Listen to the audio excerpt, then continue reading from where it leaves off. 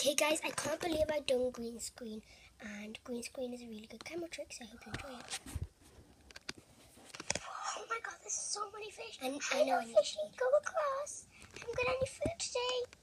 Then there's another one what I've done with green Whoa. screen. Whoa! I'm going to jump off. Whoa!